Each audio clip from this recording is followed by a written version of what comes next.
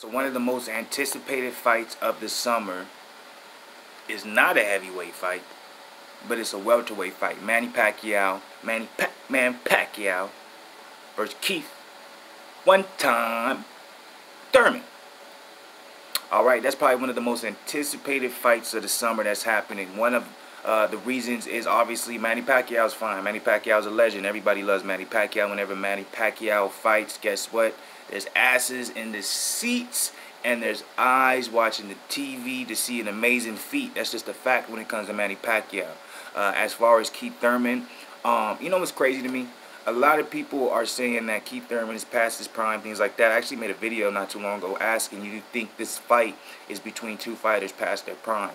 Uh, a lot of people are saying Keith Thurman, he ain't what he used to be. In his last fight against Lopez, there was a lot of flaws in that fight, but me personally, like in the moment when I watched the Keith Thurman Lopez fight, at first I was like, man, Thurman does look a little uh, rusty. Obviously, you know what I'm saying? He's coming back from uh, multiple injuries.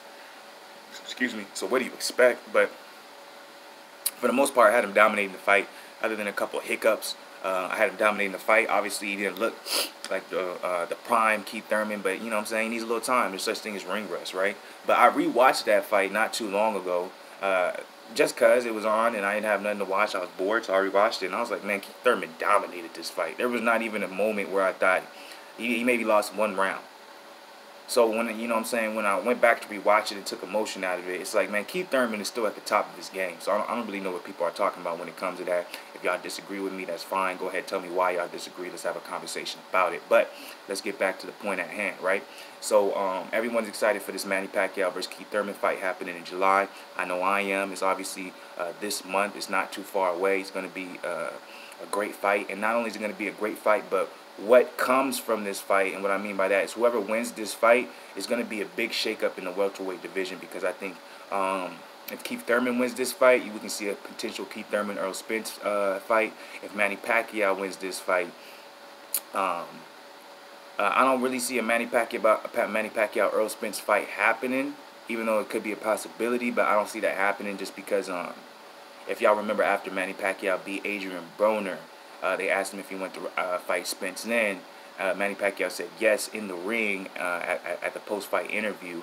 Um, said he wanted to fight Spence. Obviously, you see he's fighting Keith Thurman. So if Manny Pacquiao does end up winning, I see him maybe fighting uh, Amir Khan in the future, which I would like to see that fight. So, um, uh, you know I'm saying? Some big things can happen from the results of this fight. But what I'm getting at, or what I want to ask y'all, Black Goose TV family, is basically there's been a lot of rumors uh, there's been a lot of uh, different reports and things surrounding uh, these two fighters' training camps, um, a lot of trash talk, um, a, a, lot of disrespect, uh, in a sense, coming from uh, Freddie Roach from what he's saying about Keith Thurman and then what Keith Thurman's saying about Manny Pacquiao.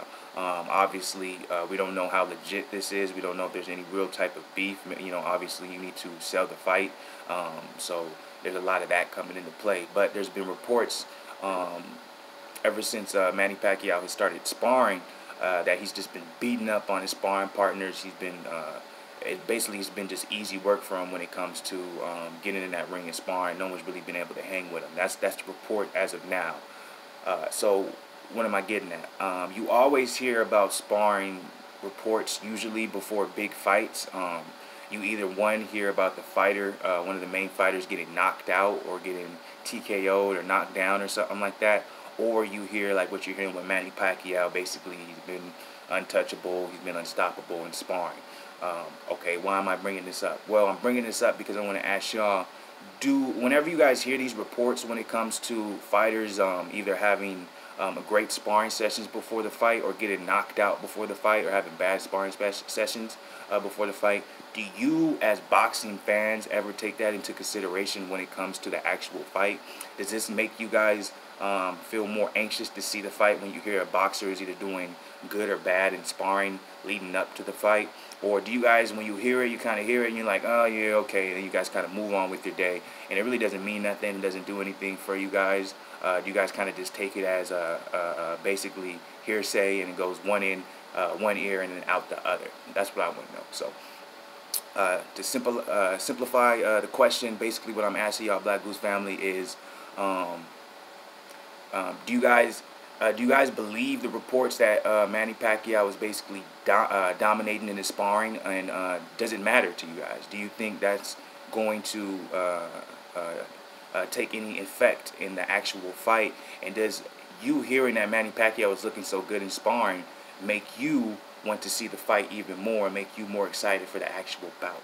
Uh, let me know below, y'all. You already know who this is, Black Goose TV family. Got more videos coming out later in the day, so hope y'all look out for that. Appreciate the support. Keep supporting. Hit the like button. Subscribe. Uh, check out the Facebook page, Black Goose. Uh, uh Facebook.com slash Black Goose. You already know what it is, Mr. Positivity. Stay positive.